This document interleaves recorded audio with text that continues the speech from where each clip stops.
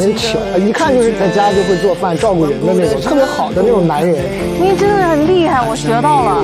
哎呀，你这播完你这手都入味了吧？感觉我们现在像个生生产线的。